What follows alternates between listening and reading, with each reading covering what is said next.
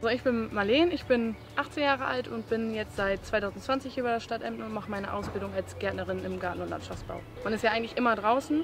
Das ist auch ein sehr vielseitiger Beruf, warum ich auch gesagt habe, ich möchte unbedingt den Bereich im Galabau machen, weil man in alle möglichen Bereiche, sei es jetzt äh, der Steiger, äh, Blumenpflanzen oder Pflastern, man hat halt alle Möglichkeiten, wo man was lernt. Das nur im Büro ist, glaube ich, eher nicht meins.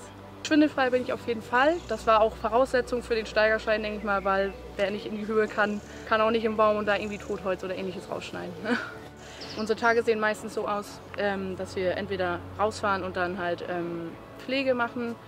Allein so mit der Wechselbepflanzung und sowas, da haben wir auch ganz oft, dass so die dann auf uns zukommen und sich immer so freut, wenn die Blumenbeete wieder so schön blühen und sauber gemacht sind. Und da kriegen wir auch öfter mal ein Lob für. Ich bin froh, dass ich mich für diese Ausbildung entschieden habe und für mich ist es definitiv das Richtige.